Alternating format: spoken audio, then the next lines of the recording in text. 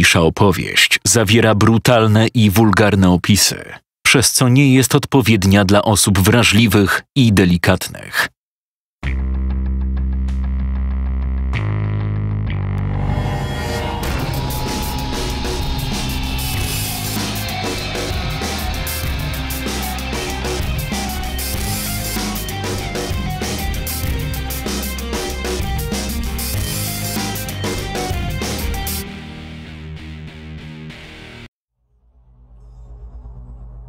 Nie odpowiedzieli, ale nie musieli tego robić. Moim zadaniem było jedynie poinformować demony o wyjeżdżających z przystani łowcach, a nie zbieranie raportów. Znałem moich współpracowników i wiedziałem, że na pewno sobie poradzą. Na tym etapie nie było już miejsca na pomyłki. Wstałem, żeby się przeciągnąć i rozprostować kości. Chyba powinienem wrócić, choć na chwilę do własnego ciała. Nie byłem w nim dość długo. Na pewno już powoli zaczęło się rozkładać. Poza tym warto by było je tu przenieść. Nie został nikt, kto mógłby mnie wykryć. Felicja i Filip będą zbyt zaabsorbowani sytuacją w kraju, a brygada w całości opuściła dom. Zakładałem, że żadnego innego łowcy nie było w tym czasie w przystani, ale przecież gdyby był, to bym go zobaczył. Tak też zrobiłem, uprzednio dając znać Nikoli, gdzie idę i po co, jednocześnie każąc jej się nie wychylać i pozostać na miejscu. Na początku chciałem złamać jej nogę, ale uznałem, że skoro Mirak wybrał dla mnie to naczynie, to musiał mu ufać. Wypuszczenie mojej esencji przebiegło płynnie. Dziewczynka przysiadła i otworzyła usta, a ja szybko się z nich wysunąłem. Spojrzałem jeszcze na nią swoim demonicznym wzrokiem. Czuć było, że się boi, ale to nie jest strach spowodowany sytuacją. To strach przed Mirakiem. Zastanawiałem się przez moment, czy dobrym pomysłem będzie zostawienie jej samej na powierzchni i ostatecznie zrezygnowałem z tego, ponownie ją opętując. Okazuje się, że podjąłem dobrą decyzję, ponieważ wchodząc w jej ciało wyczułem szybko ulatniającą się nadzieję. Podróż po moje ciało trwała łącznie półtorej minuty. Byłaby zdecydowanie krótsza, ale po drodze musiałem jeszcze zahaczyć o magazyn, gdzie spoczywała głowa poczciwej Buffy. Naczynie od Miraka nie było mi już właściwie potrzebne, ale niemal błagałabym zabrał ją ze sobą. Przystałem na to, choć nie widziałem najmniejszego sensu w targaniu ją z powrotem w okolice przystani. Chciałem jednak usłyszeć, co ma mi do powiedzenia. Pan nie jest taki jak pan Mirak. Mówiła, stojąc nade mną podczas nudnej obserwacji siedziby łowców. Wyczułam to, gdy mnie pan opętał. Ja czuję, że on prędzej czy później zrobi ze mną to, co robi z całą resztą. Ja mówiłam, że jest dobry, że, że dba o nas, ale musiałam tak mówić. Bałam się, że się lubicie i przekażę mu pan, jeśli będę niegrzeczna. Przestań pierdolić. Byłem w twoim umyśle i widziałem, co robiłaś z tymi wszystkimi dziećmi. By przetrwać. Pan może mnie obronić, ja to wiem. Czuję, że jest pan silny i go nie lubi. Ja nie chcę do niego wracać. Widziałam, co robi z tymi wszystkimi ludźmi. Nigdy mnie nie tknął. Jeśli pan chce, to wiem, jak płacić za ochronę. Jestem czysta, obiecuję. Spojrzałem na nią z politowaniem. Ty wiesz, że gdy wrócimy, on się o tym wszystkim dowie? Jeśli nie ode mnie, to od ciebie. Gdy tylko opęta to naczynie, by poznać moje zamiary. Nie musi tak być, jeśli mnie pan ochroni. Ja się odwdzięczę, obiecuję. Chyba cię do reszty popierdoliło, dziewczynko. Nawet gdybyś była parę lat starsza. I tak nie. W takim razie zabij mnie tu i teraz. Bo i tak umrę, gdy do niego wrócę. O, to na pewno. Ale wcześniej zrobi ci to wszystko, o czym myślisz, a nawet więcej. A ja bardzo chętnie popatrzę. Nie, żeby mnie to specjalnie rajcowało, ale z miłą chęcią zobaczy, jak Mirak masakruje twój durny, naiwny rej. Nikola poderwała się do biegu i zaczęła uciekać. Nie zdążyła nawet opuścić pokoju, gdyż szybko się przeniosłem i zagrodziłem jej przejście. Ty świnio! Ja mu nakłamię. Powiem, że mnie uwiodłeś, zgwałciłeś. Powiem, że z premedytacją wykorzystałeś mnie, by mu dopiec. A Zdechniesz! zamknij się już, pierdolona intrygantko! Po tych słowach nachyliłem się do jej ucha i wyszeptałem zaklęcie, po którym dziewczynka osunęła się na podłogę. Będzie spała dobre kilka godzin. Wystarczy. Przeszukując pokój w poszukiwaniu liny, natknąłem się na coś dużo lepszego. Trytytki. Spiałem jej ręce i nogi plastikowymi zatrzaskami i dotknąłem nieprzytomnego ciała dziewczyny, wysyłając ją w pizdu stąd, wprost pod kwaterem Iraka, a sam, jak gdyby nic się nie stało, wróciłem do nudnego obserwowania przystani. Godziny mijały mi naprawdę leniwiej. Tego dnia nie wydarzyło się już nic szczególnego. Nudziłem się na tyle, że późnym popołudniem wyjąłem z lodówki turystycznej głowę Buffy i zacząłem z nią rozmawiać. Szybko jednak mnie to znużyło i zacząłem sobie podśpiewywać. Muzyka była jedynym, co zostało mi ze starego życia i nadal sprawiało tę samą radość. Uwielbiałem klasyczny rock, a dziesiątki, jak nie setki utworów, mogłem zacząć nucić w dowolnie wybranym momencie. W samym środku Dance of Death usłyszałem w umyśle głos Rity. Mam tu też matę. Kinie. Co z nią zrobić? Spojrzałem za okno. Było wciąż jasno. Kompletnie straciłem poczucie czasu. Zegar stojący w rogu wskazywał dwudziestą pierwszą.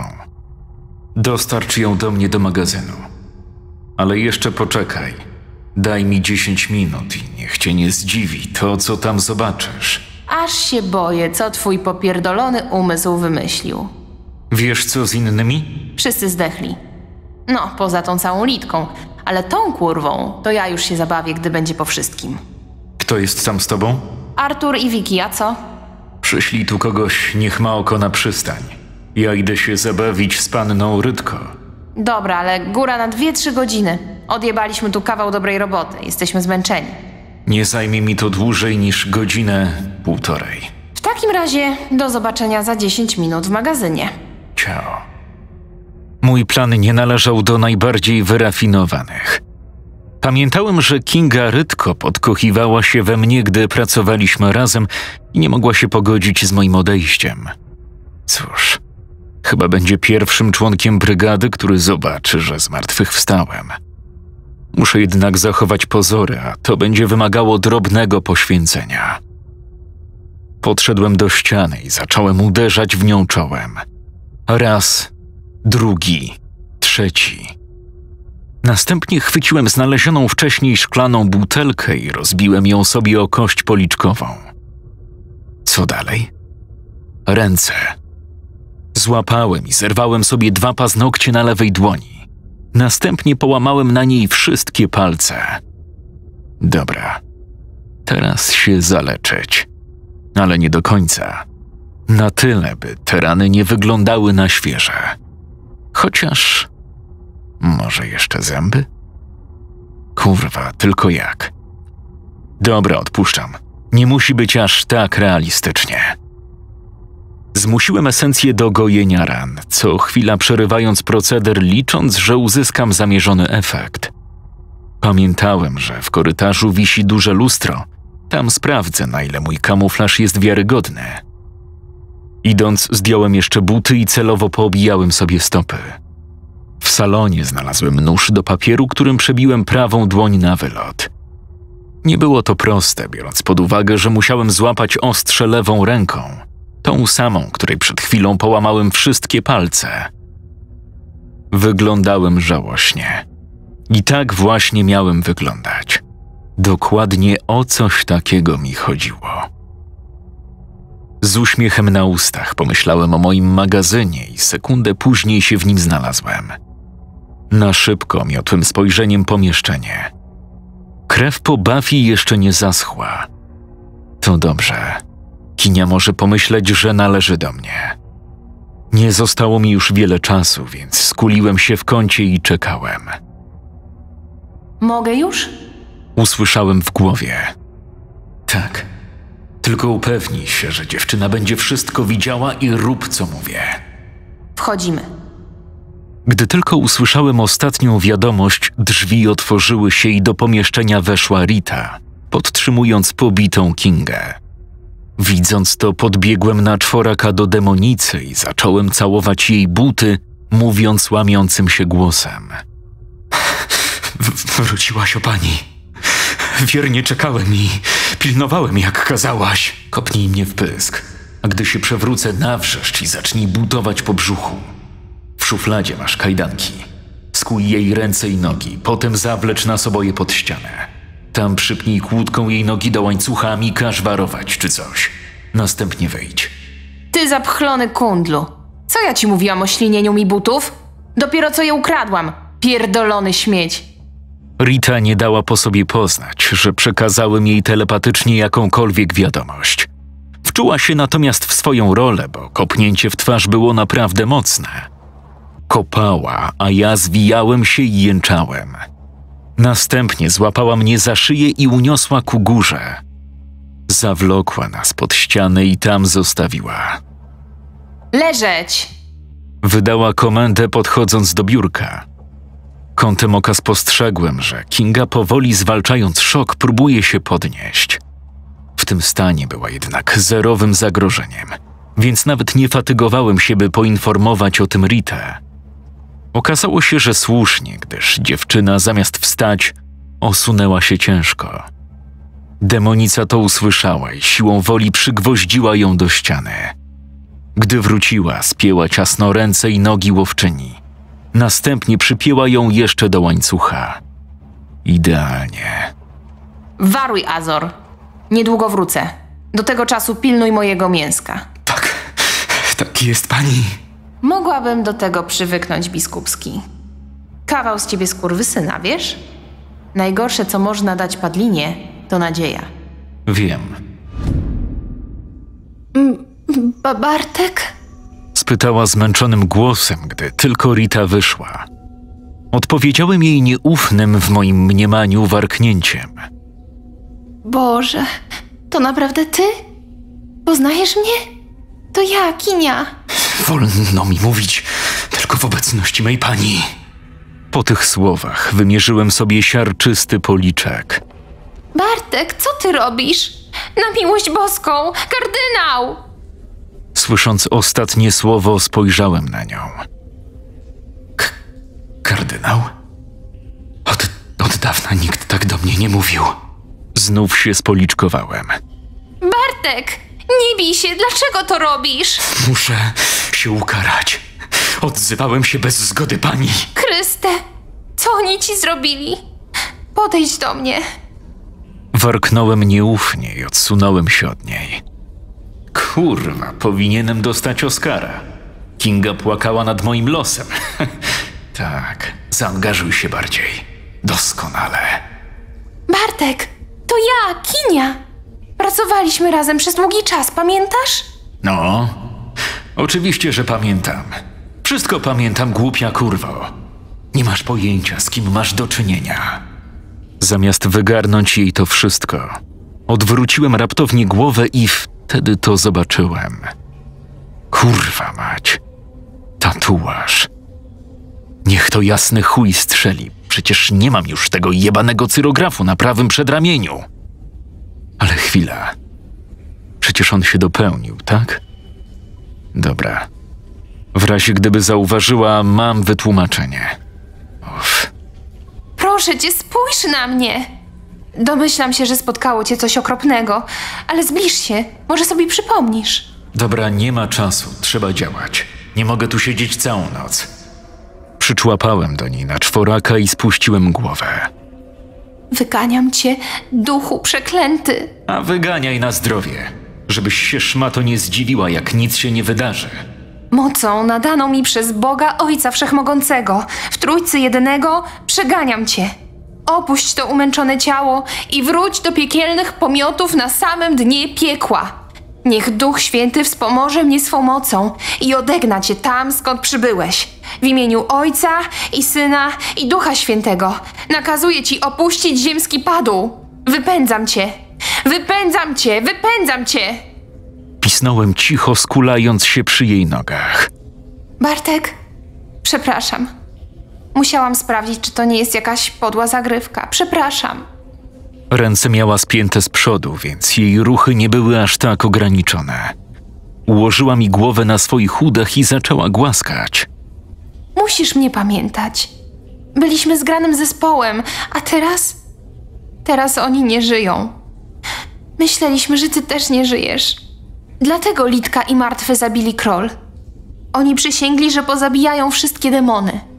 Boże, niby minęło zaledwie pół roku, a tyle się wydarzyło. Tyle mam ci do powiedzenia. Pół. pół roku? Tak. Chcesz mi powiedzieć, co działo się u ciebie? Ja nie. Ja nie chcę. W porządku, przepraszam. Bartek, inżynier żyje, Felicja też. Do tego wiemy, co z Sarą. Sara Szukałeś jej, pamiętasz? miała. Dwoje różnych oczu, prawda? Ma, ona żyje. Pomaga nam czasem. Również cię szuka. Na pewno się ucieszy. Najbardziej pamiętam ciebie i twoje brązowe oczy. Czuję się przy tobie taki spokojny. No coś ty, przestań. My byliśmy ze sobą, prawda? Nie, kardynał. Tylko razem pracowaliśmy. Posłuchaj, jałowcy i Sara żyją. Oni ci pomogą. Tylko musisz nas stąd wydostać. No hurra, nareszcie. Już myślałem, że sam będę musiał powiedzieć, że spierdalamy. Nie, nie wolno. Pani nie pozwala. Nie ma żadnej pani. Jesteś wolnym człowiekiem, rozumiesz? On nas znajdzie i zrobi nam straszne rzeczy. Bartek.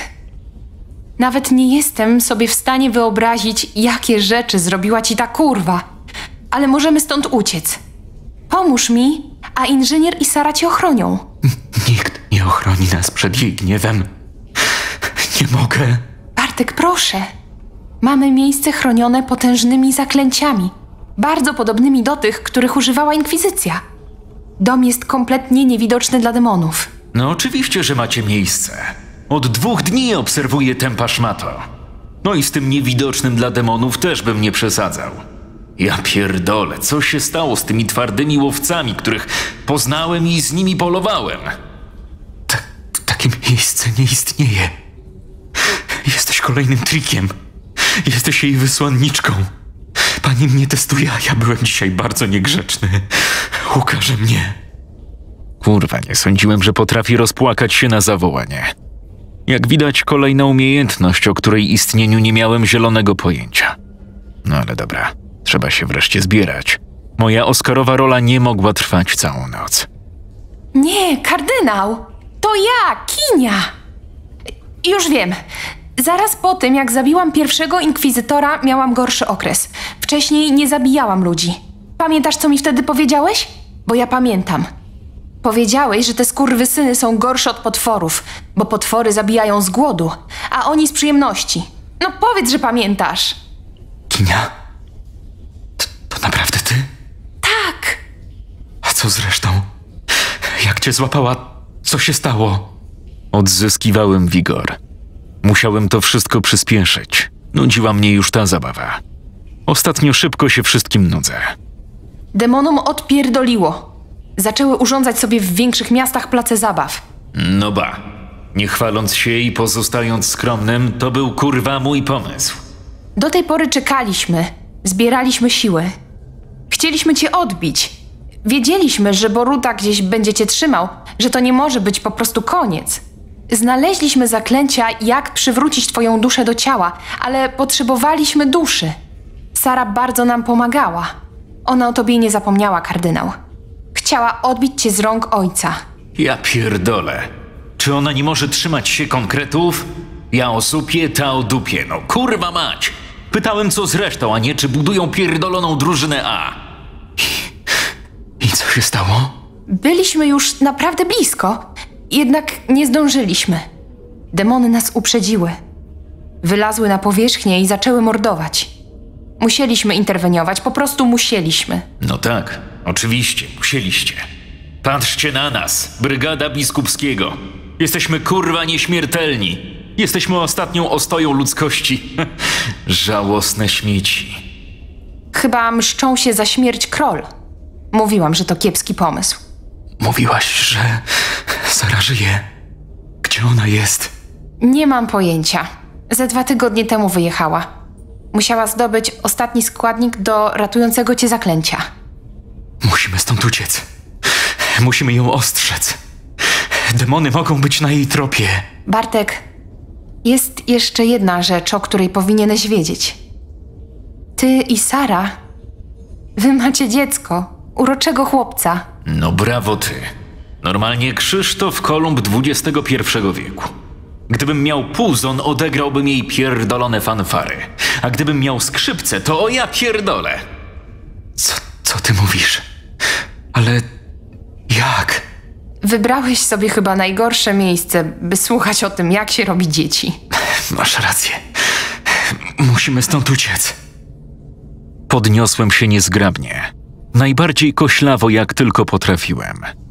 Następnie zgarbiłem się i odstawiając zaawansowanego Parkinsona, poczłapałem do biurka.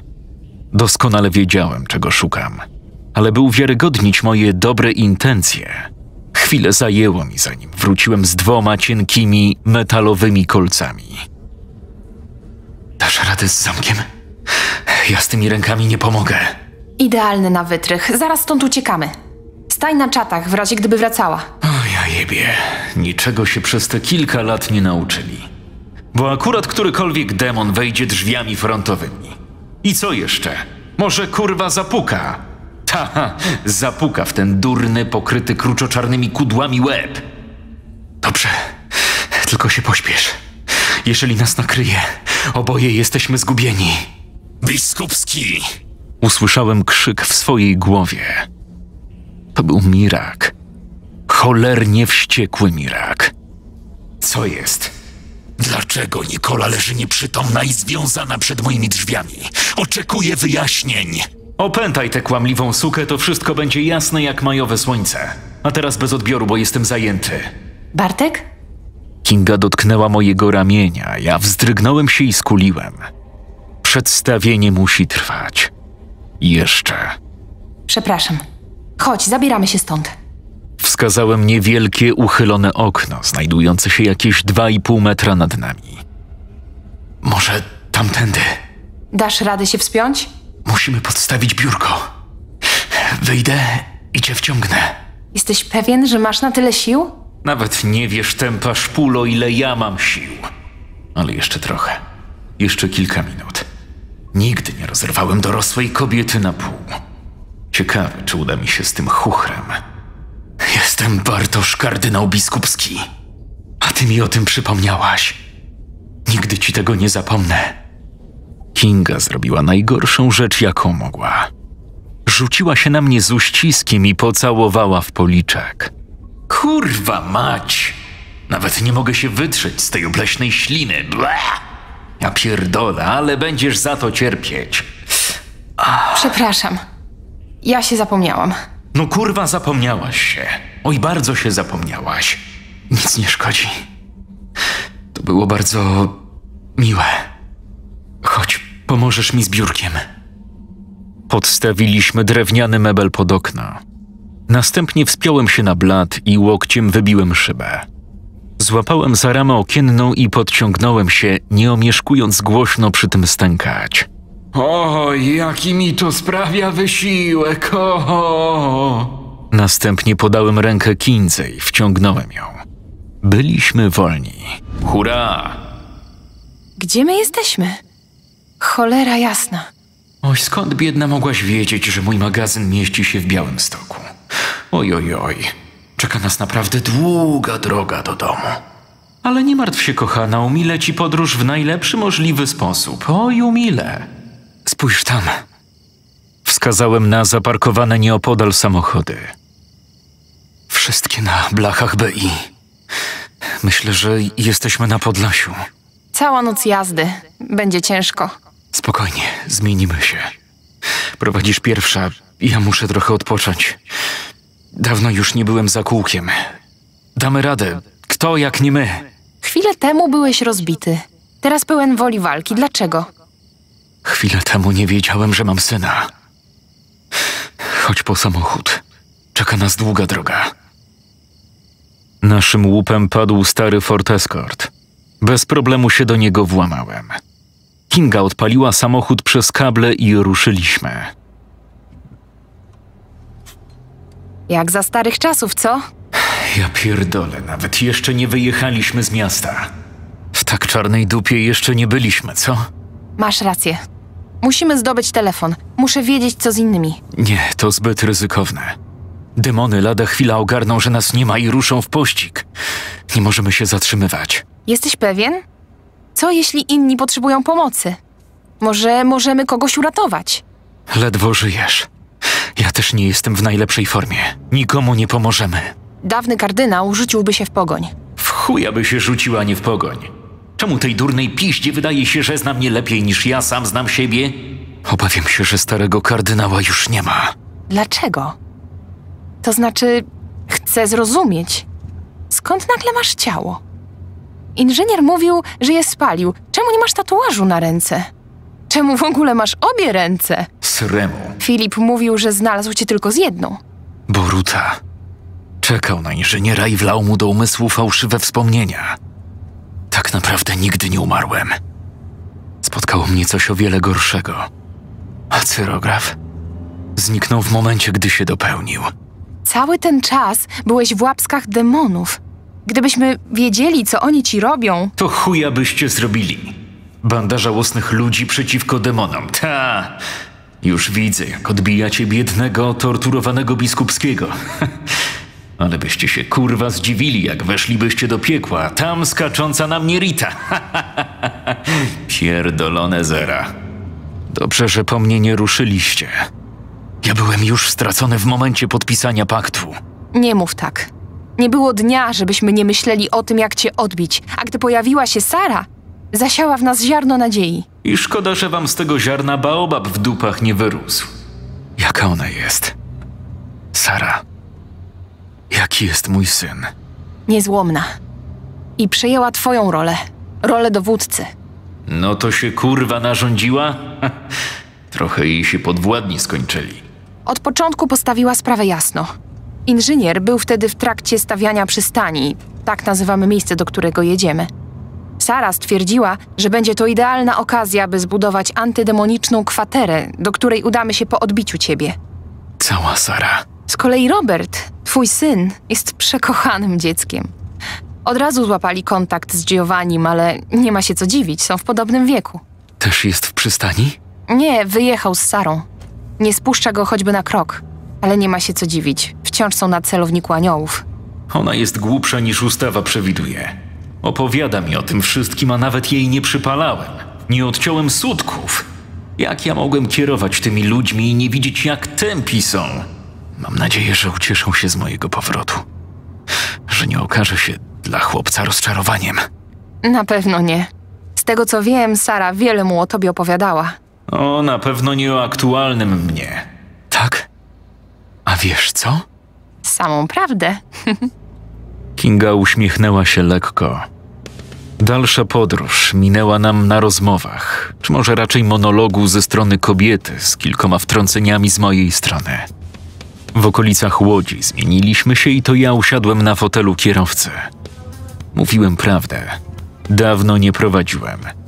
Jako demon nie potrzebowałem samochodu, by się przemieszczać, więc od prawie sześciu miesięcy nie jechałem autem.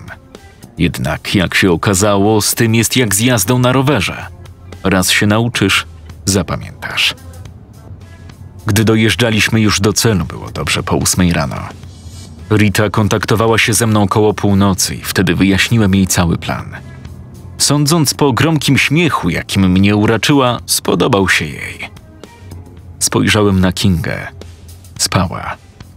Uśmiechnąłem się, bo nie byłem do końca przekonany, że kobieta kupi moją bajkę. No ale dobra, dość już tego cyrku. Zwolniłem, jednocześnie lecząc wszystkie rany. Proces przynosił mi ogromną ulgę. Jedyne, do czego mogę to porównać, to do pójścia się odlać po kilkudziesięciu minutach trzymania moczu. Gdy poczułem, że jestem już kompletnie uleczony, zatrzymałem wóz. Showtime. Kobieta, czując, że stoimy, zaczęła się przebudzać. Mm, już jesteśmy? O tak. U twojego kresu. Odpowiedziałem, chwytając ją za głowę i uderzając nią o deskę rozdzielczą. Raz, drugi, trzeci. Następnie otworzyłem drzwi po jej stronie i wypchnąłem ją na zewnątrz. Nawet nie fatygowałem się, by tradycyjnie wysiąść. Przeniosłem się tuż przed nią. Czołgała się niezdarnie w stronę tyłu samochodu. Chwyciłem ją za kostkę i przyciągnąłem do siebie. Następnie usiadłem na niej, blokując kolanami ramiona i spojrzałem swoimi prawdziwymi oczami. No cześć. Mogę cię zjeść. Kinga była w szoku. Przerażeniem i niedowierzaniem patrzyła na moje blado-zielone oczy. Kiedy go opętałeś? Kim ty kurwa jesteś? Wyganiam cię, duchu przeklęty! Bla, bla, bla. Tak, wiem, mocą nadaną ci sratatatata. To powinno działać! Czym ty jesteś? Bartoszem biskupskim po małym upgrade'zie. A czemu twoje modlitwy nie skutkują? Cóż, w jaki sposób chcesz mnie durna pizdo z własnego ciała wygnać? Ale jak? Jak, jak, jak? Srak, kurwa! Powinnaś raczej zapytać, co z tobą zrobię. Dlaczego? Miałem sobie darować upokorzenie cię? Psychiczne zniszczenie? Ciebie? Która niemal gwałciła mnie wzrokiem? To, jak cieszyłaś się, gdy mnie ujrzałaś. Jak twoje oczy przepełniały się nadzieją, gdy tu jechaliśmy. Powiem ci coś. Tylko nie powtarzaj. To tajemnica. Nie ma nadziei dla kogoś takiego jak ty. Każdy łowca w tym ulepionym z gówna i patyków kraju zdechnie. Jesteście niczym. Wstałem i chwyciłem ją za włosy.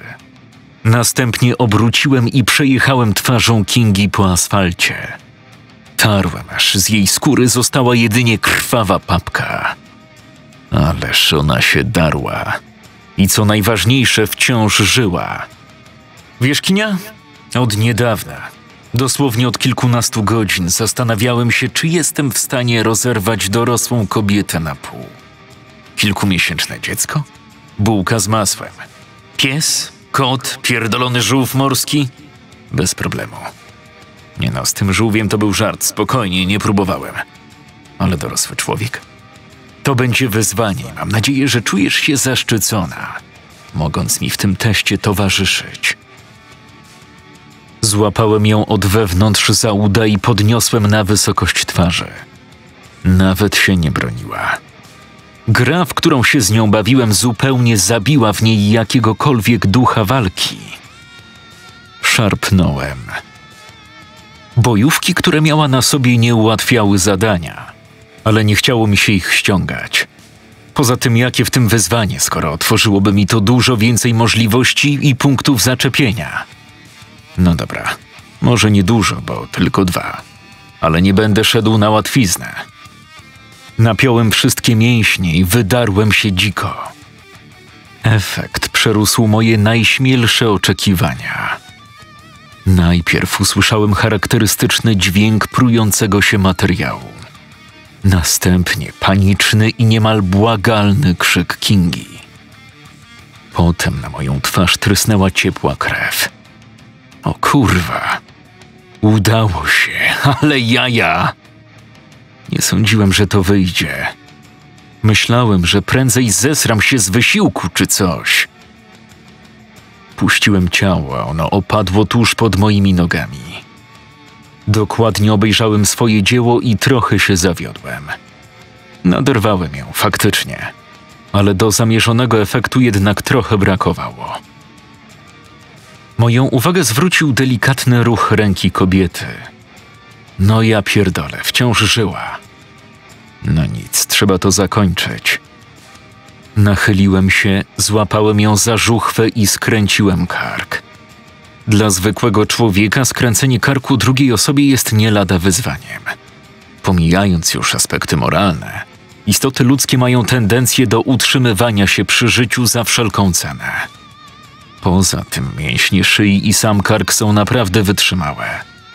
Gdyby było inaczej, zwyczajne chodzenie byłoby dla ludzi wyzwaniem, a bieganie czy jakakolwiek inna aktywność sportowa igraniem ze śmiercią.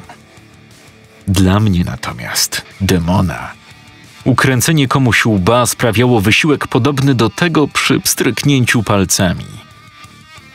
Podniosłem zwłoki i wpakowałem je do bagażnika samochodu. Następnie zawróciłem i pojechałem nad znajdujący się nieopodal staw. Wjechałem w spokojną taflę wody i upewniając się, że samochód na pewno zatonie, opuściłem go przenosząc się do domu, z którego obserwowałem przystań. Wyglądałem okropnie. Ponadto byłem cały we krwi. Nie no, nie mogę w ten sposób iść w odwiedziny do przyjaciół. Umyłem się zatem w łazience, martwej od kilku dni pary. Potem wyskoczyłem szybko do siebie po ubranie na zmianę. Na zegarze wybijała dziesiąta, gdy byłem gotów na rozmowę z państwem Jałowiec. Złapałem za lodówkę turystyczną, w której znajdował się prezent i wyszedłem z domu. Szedłem środkiem ulicy, bezczelnie się uśmiechając. Nie miałem absolutnie żadnego powodu, by ukrywać swoją obecność. Teraz już nie.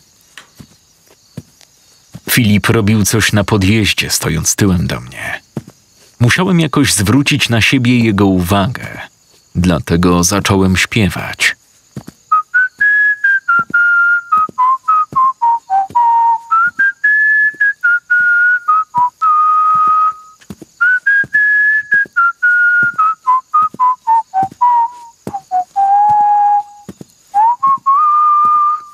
Czy słyszałeś, co wczoraj mówili w dzienniku? Czy słyszałeś, co idzie po twój łeb?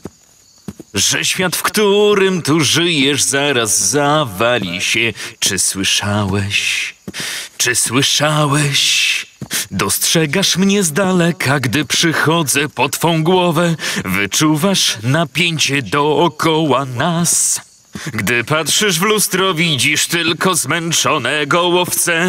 Czy przeżyjesz? Chyba nie, chyba nie. Inżynier odwrócił się, jednocześnie upuszczając trzymany w dłoni klucz francuski na ziemię. Przez chwilę stał w miejscu, nie wiedząc co robić. Po kilku sekundach chwycił leżący na werandzie pistolet i zrobił kilka kroków w kierunku bramy.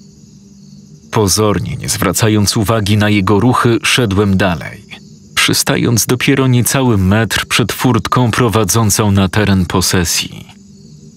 Filip Jałowiec niepewnie podszedł i zatrzymał się na podobnej odległości, po drugiej stronie. Tylko ty mogłeś tak skrzywdzić całkiem dobry utwór. Na swoją obronę mam tylko tyle, że była to luźna interpretacja. Bardzo luźna. Ani cześć, ani pocałuj mnie w dupę. Dobra, jak sobie chcesz. Nie będę owijał w bawełnę. Jestem demonem i przyszedłem tu w poszukiwaniu Sary.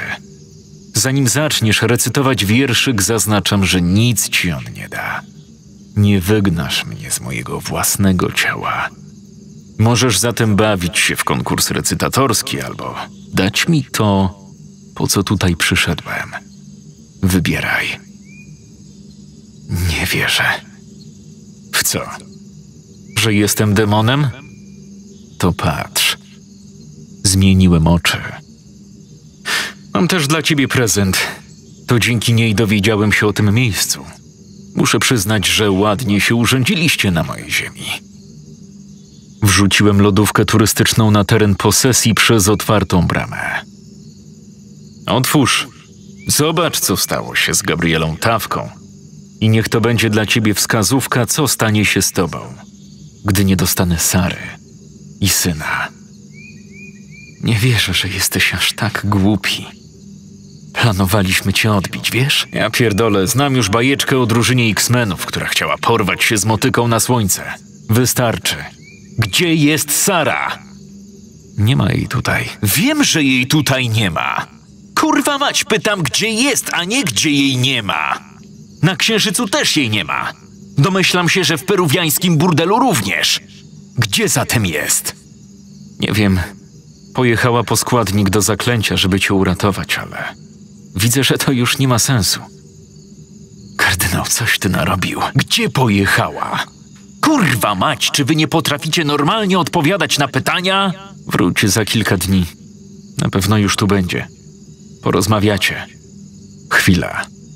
Broń pozostawiona luzem na werandzie.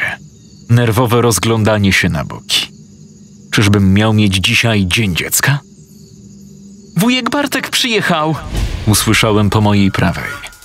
Inżynier momentalnie zrobił się blady jak ściana, ale nie to mnie teraz obchodziło. Odwróciłem głowę. W moją stronę biegł mały Giovanni.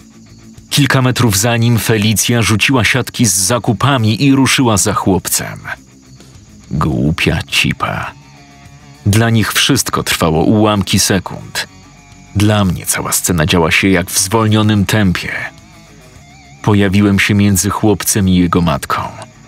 Chwyciłem dzieciaka i okręciłem się dookoła, pozwalając małemu wtulić się we mnie. Słysząc dziki ryk Felicji, zniknąłem i pojawiłem się naprzeciwko wjazdu do przystani, tylko kilka metrów dalej. Wow, wujku, jak to zrobiłeś? Zostałem czarodziejem. A nauczysz też mnie? Kardynał! Cokolwiek chcesz zrobić, najpierw porozmawiajmy. Przede wszystkim zachowaj odległość. Chyba nie chcemy, żebym zrobił coś zbyt pochopnie. A może chcemy? Wujku, co się dzieje? Boję się, chcę do mamy. Twoi rodzice mają coś, co należy do mnie. Jeśli mi to oddadzą, wrócisz do nich. Bartek, błagam! Przez wzgląd na naszą przyjaźń. Byłeś dla mnie starszym braciszkiem, na pewno to pamiętasz. Weź mnie, tylko wypuść naszego syna! Kątem oka spojrzałem na inżyniera. Skurwysyn był już przy żonce i mierzył do mnie z broni. I co on mi niby chce tym zrobić? Zgoda. Chodź tu. Rita, gdzie jesteś? U siebie, a co? Przygotuj się. Zaraz dostaniesz specjalną przesyłkę. Dobra. Matka Giovanniego zaczęła powoli do mnie podchodzić. Chłopiec szarpał się niemiłosiernie, ale pewnie trzymałem go lewą ręką. Nie mógł mi uciec. Rzuć w moją stronę nóż. Jaki nóż? Przestań pierdolić. Masz przypięty do paska metraksowy nóż. Rzuć go w moją stronę, tylko powoli. Wiesz, do czego jestem zdolny. Widziała moje oczy. Od ujawnienia Filipowi nawet na moment ich nie zmieniłem. Kobieta spokojnymi ruchami odpięła pochwę z ostrzem i rzuciła mi pod nogi. Dobrze. A teraz chodź. Przysięgnij, że nic nie zrobisz Giovanniemu. Przysięgam. Gdy Felicja była na wyciągnięcie ręki, dotknąłem ją, przenosząc do kwatery Rity. Mamusia, co zrobiłeś mamie? Wypuść mnie, wujku! Chłopiec już nie płakał, on wył. Wkurwiało mnie to, więc przyciągnąłem go do siebie i ukręciłem mu łeb. Siła, jakiej użyłem, była tak duża, że głowa Giovanniego okręciła się o 360 stopni, wracając do dawnego położenia. No cóż, kłamałem. Oznajmiłem, spoglądając z satysfakcją na inżyniera. Ty pierdolony skurwysynu! Krzyknął, zanosząc się płaczem i oddał w moim kierunku osiem strzałów.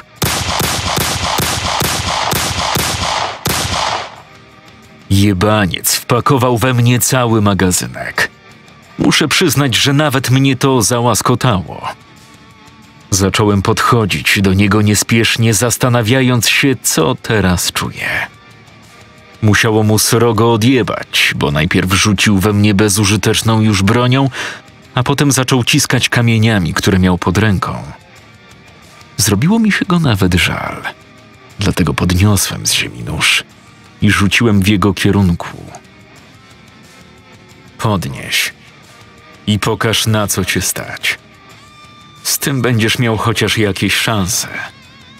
Ty bezduszny skurwielu. Zajebie cię. Słyszysz? Zajebie. Filip Jałowiec pochylił się i podniósł ostrze. Następnie wyciągnął je z pochwy, odrzucając ją na bok. Ruszył na mnie. W jego mniemaniu wściekle warcząc. Jak dla mnie był to żałosny jęk rozpaczy. Bez trudu uniknąłem prostego pchnięcia od dołu i chwyciłem dawnego przyjaciela za nadgarstek, jednocześnie mu go miażdżąc. Wypuścił nóż, a ja wykorzystując impet jego szarży, rzuciłem nim jak pacynką. Zaczął się podnosić, bardzo niezdarnie. Wzruszyłem ramionami, bardzo powoli się do niego zbliżając. Nie, to nie. Pomyślałem, będąc już naprawdę blisko. Po czym złapałem go za fraki i uniosłem do pozycji stojącej. Następnie, podtrzymując go jedną ręką, zacząłem obtłukiwać pięścią drugiej po twarzy. No dalej. Masz mnie na wyciągnięcie ręki. Co mi zrobisz? Inaczej. Co możesz mi zrobić? Widzę, żeś niechętny do rozmów, to odpowiem za ciebie. Gówno mi możesz zrobić. Mam twoją żonkę. Zajebałem twojego chłopaczka, ty jedyne co możesz to ryczeć, mając mnie tuż przed swoją gębą. Jesteś żałosny inżynier. Zawsze byłeś. Nie potrafiłeś nawet upilnować swojej rodziny. Przejąłeś pieczę nad brygadą i co się stało? A ja ci powiem, co się stało. Zajebaliśmy ich wszystkich. Jednego po drugim. Jesteś pierdoloną kupą gówna, jałowiec. Ale znaj moje dobre serce. Pozwolę ci żyć. Masz jeszcze jakąś tam część rodziny i pozwolę ci ich zatrzymać. Ale mam swoje warunki. Właściwie to jeden zajebiście ważny warunek. Wrócę tu za trzy dni. Masz 72 godziny, by sprowadzić tu Sarę i mojego syna. Trzy doby inżynier. Jeżeli wrócę ich tutaj nie zastanę, rozpierdolę ci ten burdel, rozumiesz? Jeżeli postanowisz zawinąć manatki i uciec, nie ma takiej siły na niebie, ziemi czy w piekle, która powstrzyma mnie przed wytropieniem cię i zajebaniem. I pamiętaj o jednym. Mam Felicję. Myśl o tym w każdej sekundzie swojego marnego życia. Myśl o tym i wiedz, że trzy dni to bardzo długo. Bardzo długo. Zrobię jej rzeczy, których twój ograniczony umysł nawet nie przywoła. Ale jeśli sprowadzisz tu Sarę, to ci ją oddam. Nie gwarantuję, że w jednym kawałku, ale oddam. A jeżeli trup i brak żony to za mało, to zostawię ci jeszcze jedną, ostatnią już przypominajkę. Złapałem go za karki i podprowadziłem do ogrodzenia. Hmm, bardzo ładne wykończenia. Ciekawe czy ostre. Chwyciłem jego dłoń własną i z całej siły wbiłem obie w stanowiący zwieńczenie grot. Ostre. Mówiąc to, szarpnąłem i uwolniłem swoją rękę z potrzasku. Filip płakał i wił się przy ogrodzeniu, próbując jakoś uwolnić dłoń. Jego twarz była obrzmiała, a ze złamanego nosa ciekły gęste, zmieszane z krwią gile. Trzy dni inżynier. Tik, tak. Powiedziałem i przeniosłem się do domu. Czas porozmawiać z Felicją.